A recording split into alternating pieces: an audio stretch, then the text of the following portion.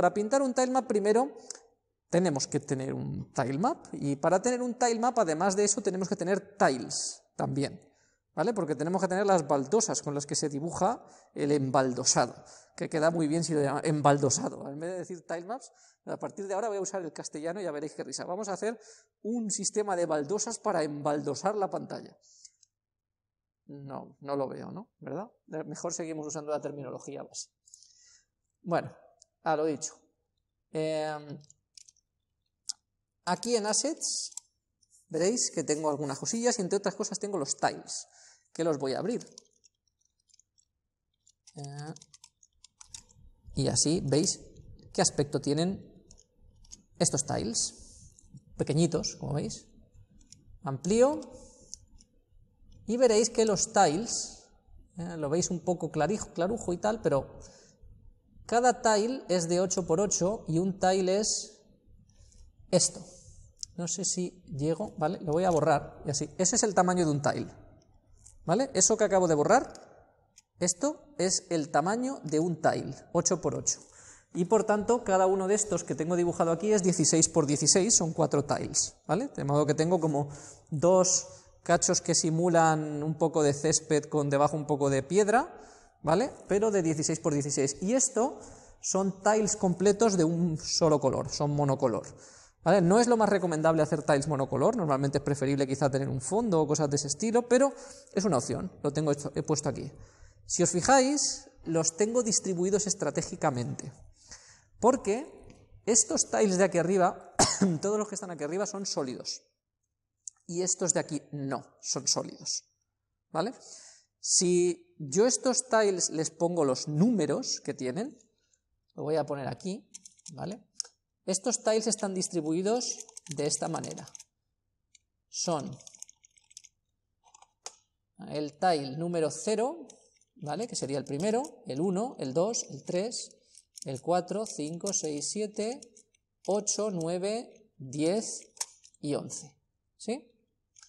Si esto lo pongo en binario, ¿vale?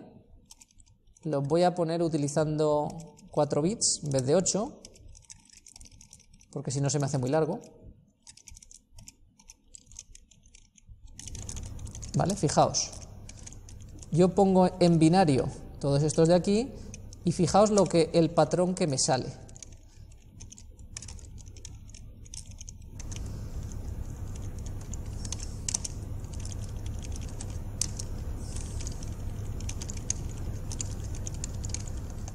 ¿Notáis un cierto patrón en los bits?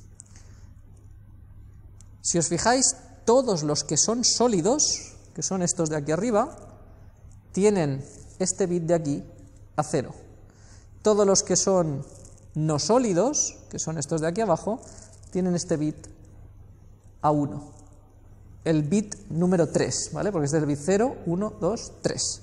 Este bit está a 1 en todos los de la fila de abajo, arriba está a cero. Solo testeando ese bit yo ya puedo saber a partir del número de un tile si es sólido o no es sólido. Y eso se debe a la ordenación, ¿vale? Ah, no había visto antes que Tamara había preguntado que si hay multijugador, cuáles serían las teclas. No, no hay eh, un estándar definido para teclas multijugador, sino que en Amstrad, normalmente cuando se hace multijugador suele haber un jugador con teclas y el otro con joystick. Que en Amstrad, como os dije, tenemos joystick. Y el joystick es el joystick o pad, ¿vale? Que hoy en día muchos tienen pad. Y eh, eso eh, se puede testear directamente porque el pad y el joystick, o que se conectan al, al Amstrad por el puerto de expansión, son reconocidos como unas teclas concretas, ¿vale? Las tenéis en la lista de teclas, el propio joystick. ¿Vale? Bien, como veis, esto me sirve para directamente ya saber si un tile es sólido o no, solo con mirar este bit. Si está a 0, sólido, si está a 1, no sólido. ¿Vale? Y es precisamente por la forma en que he ordenado mis tiles. Ordenando los tiles de esta manera, habiendo puesto los siete primeros sólidos y los cuatro últimos no sólidos, tengo esa diferencia en ese bit, porque si los mezclo de maneras extrañas, luego me toca ir mirando uno a uno, a ver si, este es el, el 4 o el 5 o el 9 o el 7, no, si los hago en grupos, puedo utilizar esas propiedades de cómo los he agrupado para decir, todos los que son mayores de 128, que van a tener el bit primero, el bit 7 a 1, todos sólidos, y los menores de 128 no sólidos. Y así es como puedo distribuir fácilmente. Una vez hecho eso, tengo que convertir esta imagen en los tiles que vienen a ser sprites, ¿vale? Entonces le tengo que dar esta imagen y decirle que me lo convierta en tiles de 8x8. Eso lo hago como sabéis, yéndome al ficherito de configuración en CPC Telera, que es el image conversion. ¿Vale? Esto, para que lo veáis, como decía antes, es aquí, en la carpeta de config. Claro, me sale muy grande porque tengo el OBJ, pero aquí en la carpeta CFG, ¿vale? El image conversion, este de aquí. ¿Vale? Ese ficherito, image conversion, que es este, aquí tengo el código que tenía ya, como os he dicho, para poder convertir el guerrero, que antes lo tenía como puesto a mano en mitad del render, y ahora lo que tengo puesto es esta regla que me lo convierte. Tenéis que tener en cuenta cuando pongáis esto en el Makefile, que esto no es lo mismo que llamar a un comando para convertir y ya está. Estos son reglas, las reglas de Makefile lo que hacen es asociar una fuente con un destino. En este caso, lo que estamos diciendo es, aquí él va a coger el fichero warrior single png y cada vez que este fichero cambie o cada vez que no exista el fichero resultante, que es el punto C que se genera al convertirlo, lo va a volver a convertir. Porque esto, esta línea de aquí genera una regla que dice el fichero warriorsingle.c depende del fichero warriorsingle.png. Eso es lo que está haciendo esta línea. Así que él, cada vez que vaya a compilar todo el proyecto, mirará y dirá, a ver, ¿está, está ya creado el fichero warriorsingle.c? Sí. Y luego dirá, ¿está actualizado? Y para saber si está actualizado, mirará Warrior Single y verá si ha cambiado desde la última vez. Si cambia Warrior Single entonces vuelve a convertirlo y regenera el Warrior Single.c. Si no ha cambiado Warrior Single PNG, no hace esta operación porque sabe que está actualizado. Eso es una regla de Makefile, que no es lo mismo que lanzar un comando para convertir y ya está. Y lo digo porque a veces he visto a mucha gente poner esto, convertirlo, quitar la regla y decir ya está convertido. No, esto no sirve para eso, esto sirve para que permanentemente haya una dependencia de un fichero con el otro. De modo que cada vez que toques el fichero PNG original se vuelva a generar el fichero .c siguiente. Y mientras esta regla exista, de esta regla también depende lo que va a pasar cuando pongáis make clean. Porque el make clean lo que hace es eliminar todos los ficheros dependientes. En este caso, Warrior Single produce Warrior Single.c y .h. Esos son dependientes de PNG. Pues cuando ponéis make clean, Warrior Single.c y .h son eliminados. Pero en el momento en que yo comente o quite esta línea, si yo ahora pongo make clean, como esta dependencia la acabo de eliminar, los archivos generados por este no se van a eliminar. ¿Vale? Así que si vais a tocar estas líneas en algún momento para quitar y añadir y cosas de ese estilo, lo mejor es, antes de tocarla, ¿vale? Sobre todo antes de quitar, ¿vale? Porque antes de añadir no pasa nada, pero antes de quitar o de modificar, lo suyo es venirse aquí y poner make clean, que esto lo que hace es borrar, y ya veis que ahí que borra el warrior single.c y .h, que los veis que están ahí, ¿vale? Los borra porque son dependientes del warrior.png, ¿Vale? Si yo esto no lo hubiera hecho, explico, ah, aquí, si yo ahora comento esto, veréis que cuando vuelva a poner make clean, aquí no aparecen el warrior single, ni .c ni .h. ¿Vale? Sí que aparece la paleta porque lo tengo en otra línea de dependencia, pero los otros ya no. Entonces, si queréis eliminar todas las cosas que se han generado en un proyecto, para dejarlo limpio, para volver a hacer las cosas o porque vais a cambiar, primero el clean y luego tocar los .mk del makefile, ¿vale? Vale, dicho esto, con estas líneas es con las que convierto yo sprites. Yo ahora voy a querer convertir mis sprites, pero ojo, yo lo primero que tendría es tentación de hacer esto, ¿vale? Que es coger, copiar esta línea y decir, bueno, pues para convertir sprites, los tiles en este caso, voy a poner assets tiles.png, le pongo aquí que es de 8x8 y que me genere un array llamado tiles directamente, ¿vale? Sin más. Pues si pongo esto, voy a tener pequeño problemilla de nada, ¿vale? Que lo veremos ahora. Lo voy a dejar así, sin más. Y voy a poner make y veréis que se va a convertir. De hecho, se va a convertir y ahora lo veréis que está en src sprites, src assets sprites, que lo he puesto yo. ¿Vale? Veis que ahora tengo un tiles.c y un tiles.h bueno, pues ese tiles.c y tiles.h yo lo puedo abrir, ¿vale? En el src, assets, sprites, tiles.c y veis que aquí he convertido mis tiles, ¿vale? Mi, mi PNG en tiles 1 a 1 de 4x8, como veis aquí, 8x8 píxeles, 4x8 bytes, ¿vale? Y están aparentemente convertidos, no hay problema, ¿vale? Voy a hacer lo propio ahora con el tilemap, que también lo tengo. ¿vale? Ya os he dicho que esto lo he hecho mal, pero veremos por qué. De momento no lo vamos a ver, simplemente vamos a, vamos a continuar para ver qué pasa. Ahora tengo un tilemap, lo tengo en assets y lo tengo que convertir también. Ese es el map.tmx que tenéis ahí. ¿vale? Tendré que abrirlo con tiled. Vamos a ver abro con tiled, lo llevo aquí para que se vea, ¿vale? Aquí veréis el, el tilemap, maravilloso y precioso tilemap que he diseñado yo mismo, por eso es tan precioso. Aquí arriba tenéis los tiles, ¿vale? Veis que, que tengo el tileset aquí arriba, con los tiles que tenía antes, aquí tengo mi tilemap, y veis que pues tengo un tilemap que tiene 48 de largo por 16 de alto, es decir, son tres pantallas de tilemap.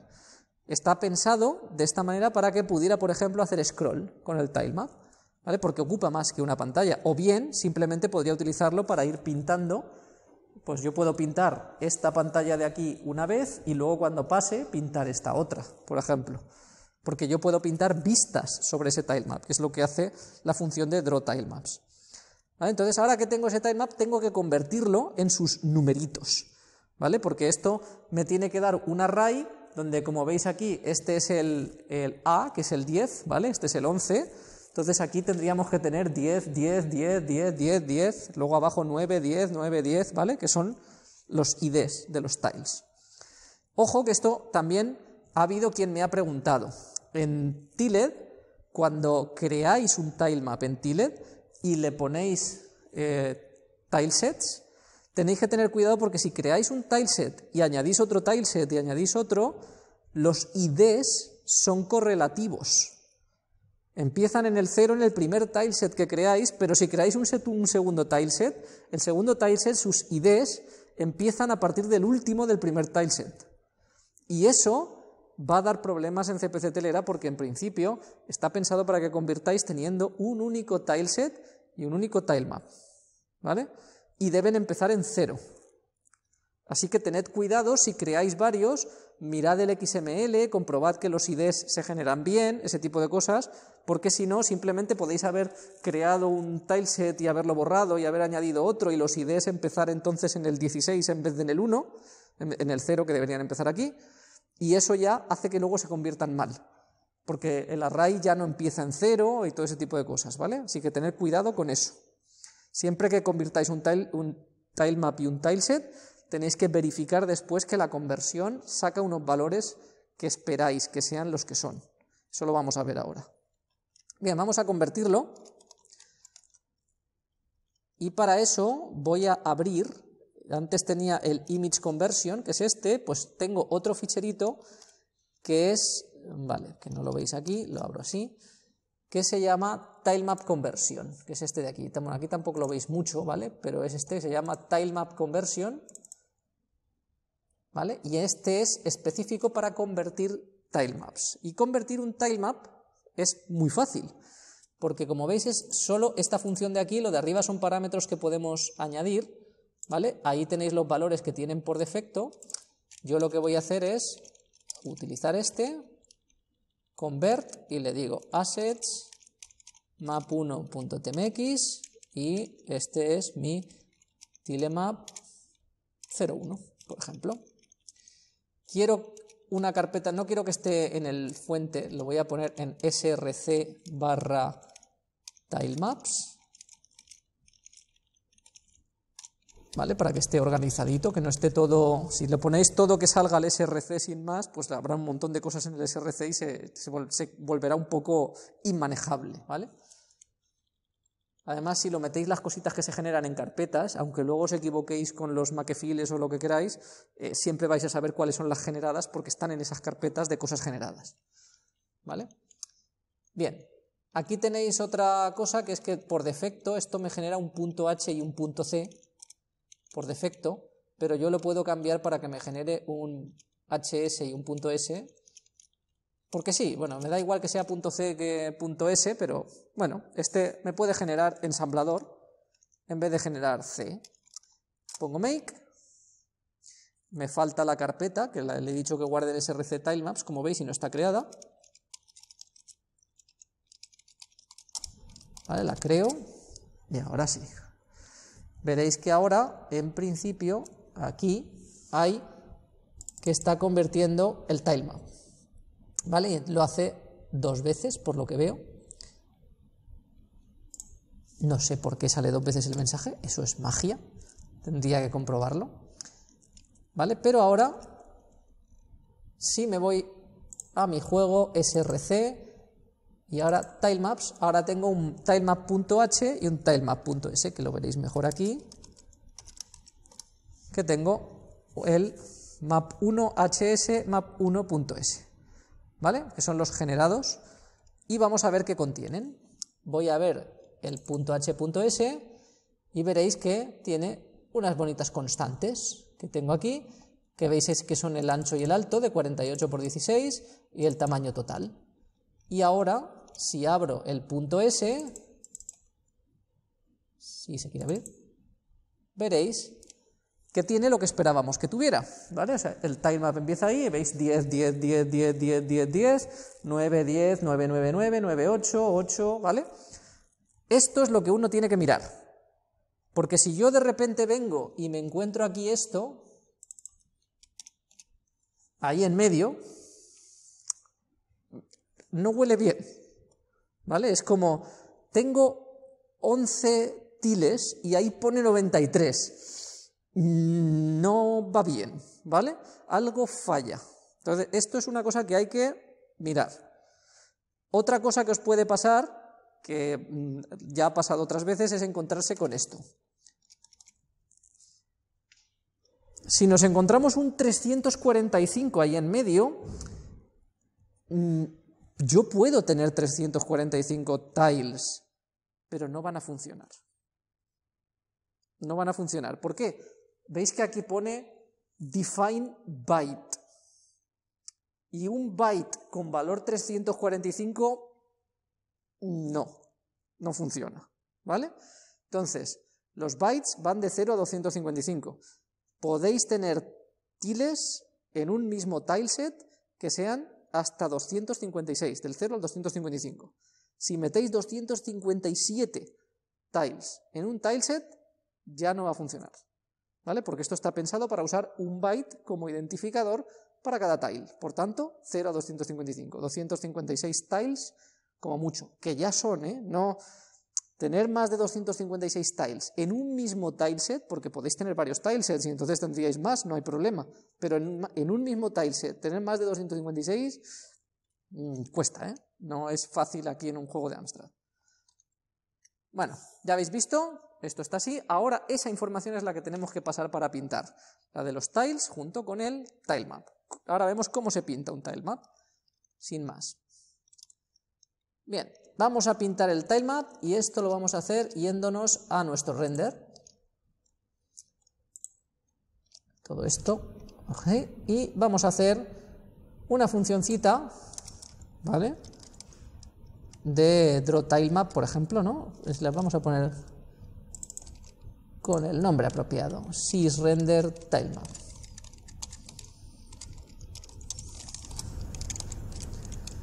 Entonces, para renderizar el tilemap necesitamos llamar a las dos funciones que ya conocemos, setDrawTilemap y la de drawTilemap, ¿vale? Entonces, estas dos están aquí, las voy a coger del .h.s, estos dos nombres, ¿vale? Son los dos nombres de las funciones, drawTilemap y setDrawTilemap, estas dos, Así que primero esta, que es la que me permite establecer los parámetros del tilemap, y luego esta otra. Y ahora le tendré que pasar a cada una sus parámetros. Estos punto global yo los podría poner aquí, pero para eso tengo un include, que es este, que ya lo tengo puesto, ¿vale? Las, digamos, funciones de CPC Telera custom que me he hecho yo, las personalizadas, ya las tengo ahí, así que ya llamo a ellas sin más. Ahora, esto, aunque sean personalizadas, solo he cambiado el ancho, los parámetros son los mismos. Me voy a la ayuda de CPC Telera, que es donde siempre tenemos que mirar estas cosas, en la ayuda, y setDrawTilemap me dice que tengo que darle todo esto de aquí.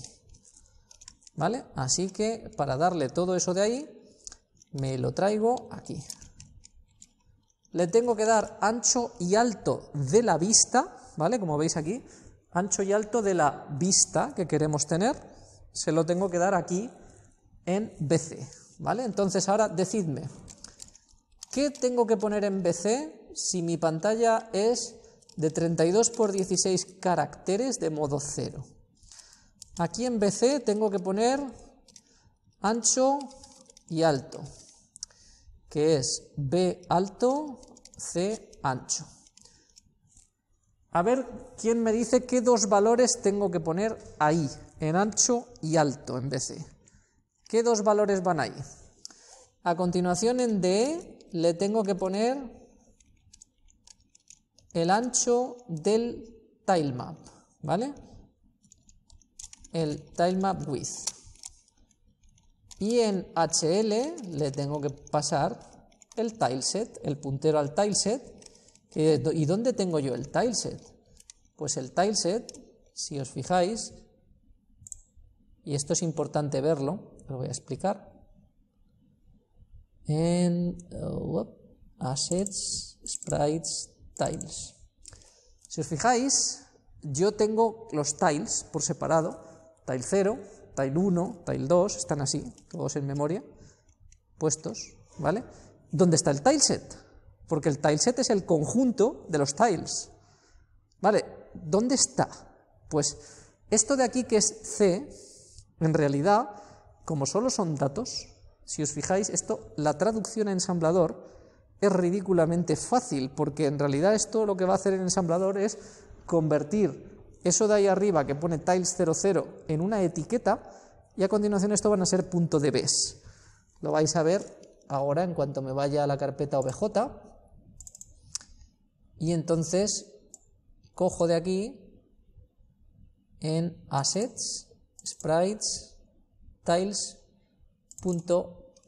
bueno, mejor si abro el, el punto .asm, que tiene menos cosas y se ve mejor. Fijaos, ¿veis? En este ensamblador que ha generado a partir del punto C es etiquetas.global de las variables, de los tiles, ¿vale? Los 12 tiles que tengo.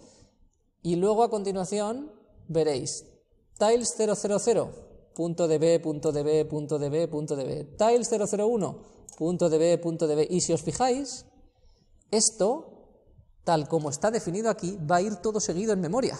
Porque esto es, a partir del tiles 00, todos los bytes del tile 00 y justo cuando termina tile 00, todos los bytes del tile 1. Cuando termina, todos los bytes del tile 2. Por tanto, esto es el tile set.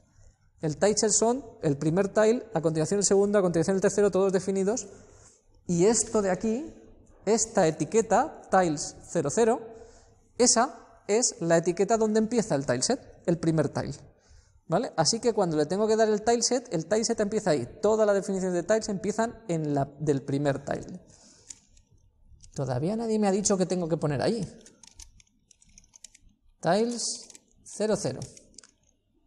A ver, ¿cuál es el ancho que tengo que poner de mi vista? O, más fácil, ¿cuál es el alto que tengo que poner como alto? Si tengo mi ventana en la que hay 32 por 16 caracteres. Tengo 32 por 16 caracteres en mi ventana.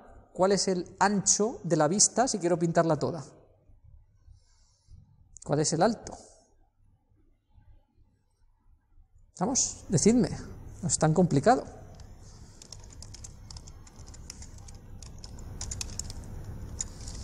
No veo a nadie contestando. Está en mi vista. De allí aquí, 32 caracteres. Y de aquí, aquí, 16 caracteres. Cada uno de estos caracteres, ¿cuánto tiene de alto? La pregunta es que qué poner dónde. Estaba en el baño. 8 por 8 es lo que tiene un carácter, ¿no? ¿Sí? ¿Vale? ¿Y en bytes?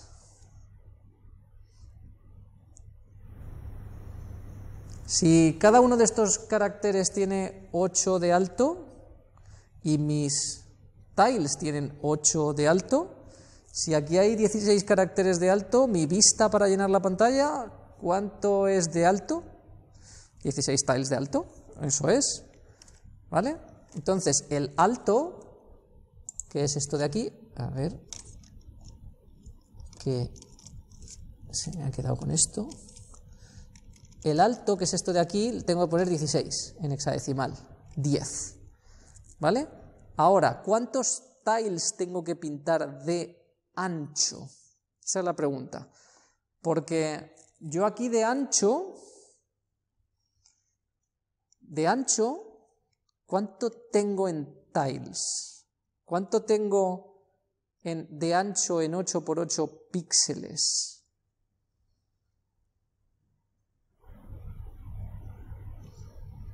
¿Cuántos bloques de 8 píxeles puedo poner aquí en el ancho?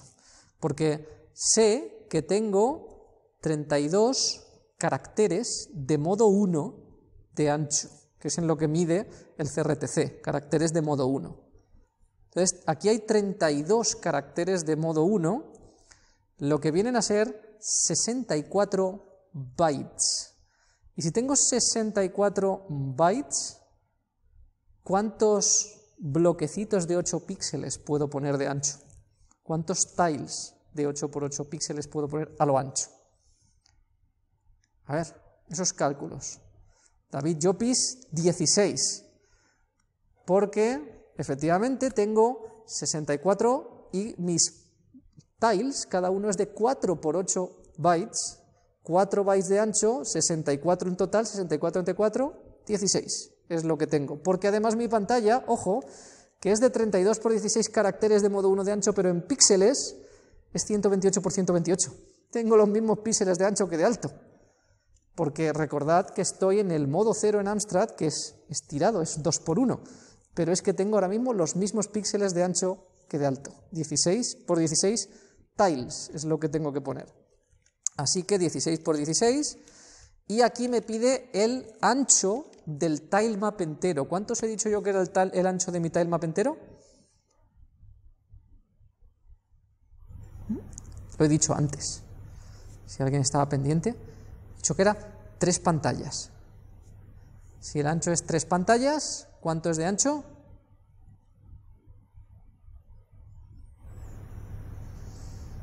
Una pantalla es 16, tres pantallas, 48. Eh, Bien, que en hexadecimal, tres pantallas, una pantalla es 10, tres pantallas es 30, básicamente, ¿vale?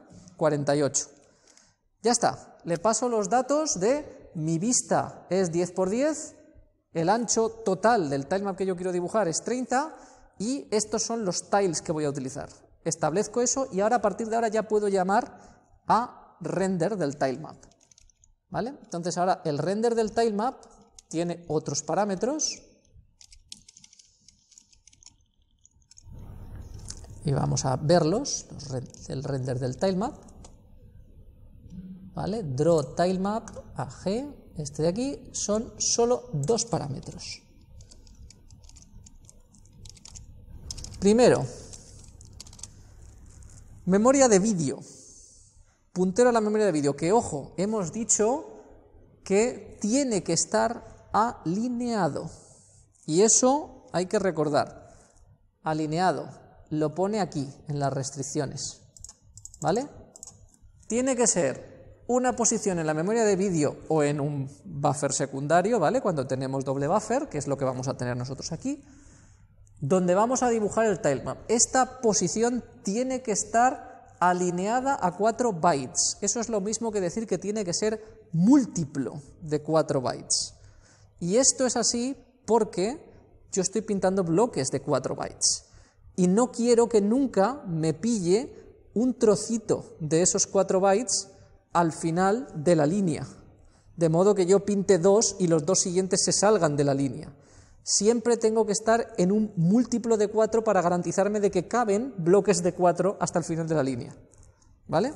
Ese es el motivo por el que esto lo pide alineado a 4 bytes. O lo que es lo mismo, múltiplo de 4 bytes. El 0, el 4, el 8, ¿vale? Tiene que ser un múltiplo de 4. Y tiene que estar en una línea de píxel 0 de los caracteres. Bien, si os acordáis de la memoria de vídeo cuando la hemos dibujado toda seguida, como ocho filas de caracteres, ¿vale? como una lista de caracteres, tenemos que pintar en la fila de arriba, en la fila cero de arriba. Solo en esos podemos pintar. ¿Por qué? Porque estos tiles que se dibujan asumen que va a pintar siempre las ocho filas de un tile. Siempre pinta las ocho filas de un carácter. Si nosotros le damos una posición de memoria que está en la fila 2 cuando vaya a pintar la fila 7, estará pintando en cualquier sitio de la memoria perdido por ahí que se habrá salido de los caracteres, ¿vale? Entonces, tiene que ser fila 0 de los caracteres, la que empieza en C000, ¿vale? Esa primera fila, y tiene que estar múltiplo de 4. Bien, en este caso no nos preocupa porque como vamos a pintar la pantalla entera, yo le voy a dar la primera posición, que es la posición 0, del 0 múltiplo de 4, y lo voy a hacer en cualquiera de los dos buffers, tanto en el buffer primario como en el secundario, en C000 o en C400, me da igual. Los dos son una, línea de píxeles 0 y los dos están múltiplo de 4. Voy a hacerlo primero poniendo el valor estándar, que sería en HL C000, y en DE tenemos que poner el tilemap. Entonces habría que darle el valor que nos ha sacado el tilemap, que eso lo hemos visto antes, aquí, ¿vale? En Assets, Sprites, y aquí tenemos, eh, no, Assets, ah, que he, creado una carpeta tilemaps, no la he creado en Assets, oh, muy mal, muy mal, ¿vale? Este es el que tenemos ancho, alto, tamaño y nos falta este otro de aquí, que es el que no está ahí, este, tilemap 001, ¿vale? Bien, yo para esto tengo creado aquí que me gusta por costumbre hacer un ficherito assets.h.s, ¿vale? En el que poner esto, cosas como esta,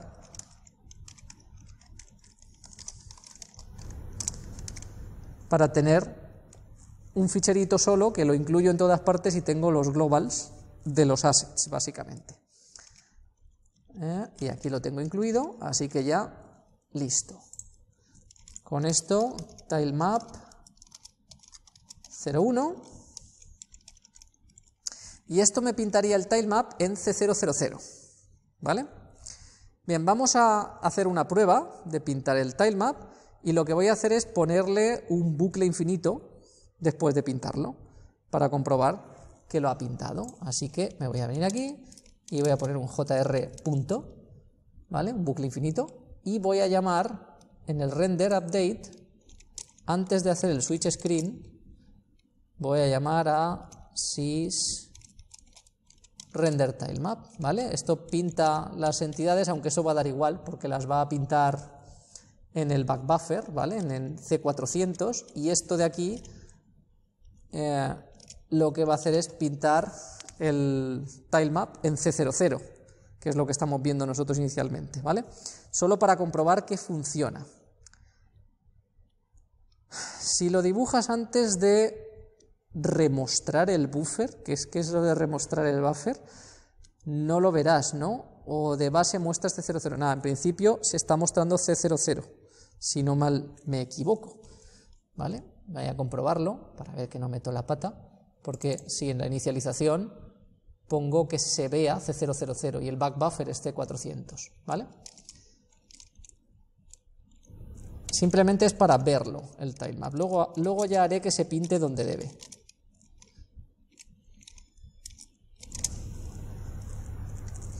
Vamos a ver si se ve un tilemap. Vamos a darle espacio. Y se ve, se ve un tilemap. Y aquí es donde viene lo que yo os había dicho, que había algo que estaba mal. Pero aunque hay algo que está mal, no parece que todo esté mal. Hay como cosas que están bien, ¿no? Ha pintado el tilemap. Pero ¿qué es lo que está pasando? ¿Qué, se ve raro? ¿Qué, ¿Qué, pasa? ¿Y qué puede ser? Primero decidme, ¿qué es, ¿qué es lo que se ve raro? El suelo, sí. ¿Por qué no se ve raro el cielo? ¿Por qué solo el suelo? Al ser alineado no tienes que poner ZG tiles. Es que ahí es donde iba yo. Hemos convertido, y es el ZG tiles no tiene nada que ver con el alineamiento.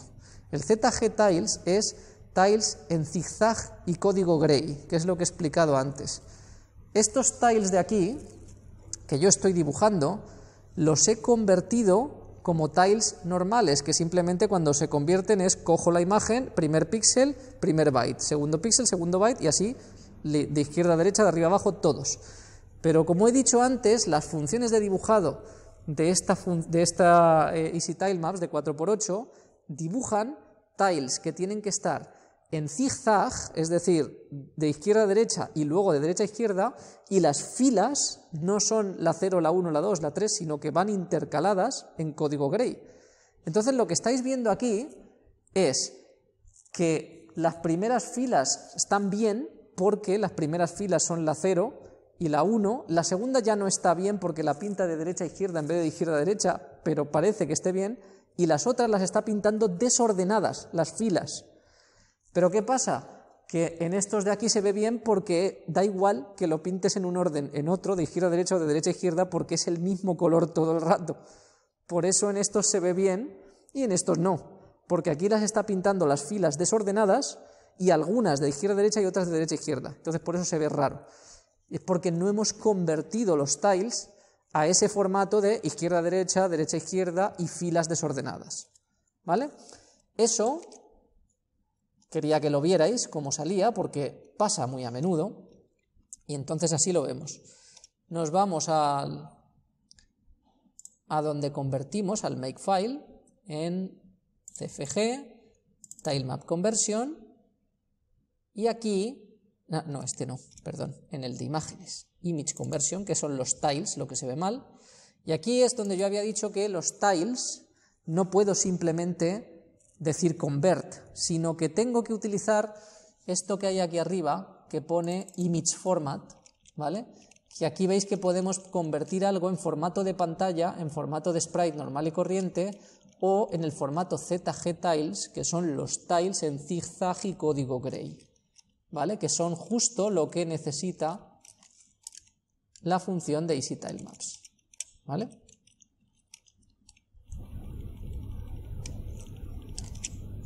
Así que esto le digo que lo quiero en ZG tiles, para que a partir de ahora la siguiente conversión sea con los tiles en ese formato. ¿Vale? Ahora veréis que cuando convierte aquí arriba, fijaos, este warrior single que veis aquí pone que está convertido lineal, como veis aquí, de izquierda a derecha. El orden lineal ascendente 0, 1, 2, 3, ¿vale? Y si nos vamos al otro que tiene que estar por aquí, los tiles, fijaos, tiles PNG está convertido en zigzag, el orden de los píxeles, ¿vale? Primero de izquierda a derecha y luego de derecha a izquierda, y en el orden las filas, primero la fila 0, luego la 1, la 3, la 2, la 6, la 7, la 5, la 4. Claro, si yo no lo hago así, luego él piensa que están así y lo pinta desordenado y por eso se ve como rayajos, ¿vale? Y ahora, si yo lo ejecuto, debería de verse mi tilemap. ¿Vale? Ahí tenemos el tilemap dibujado. Ya tengo mis esto en su sitio. No sé si tengo la paleta bien. ¿Vale? Creo que no estoy utilizando la misma paleta en los dos sitios. Habrá algún color desajustado seguramente entre uno y otro, porque veo algunos azules que no me corresponden. Entonces seguramente tengo los colores trastocados. No he puesto los mismos colores en un sitio y en otro. Los tendría que cambiar. Pero ya tengo mi tilemap. Entonces ahora lo que voy a hacer es lo siguiente.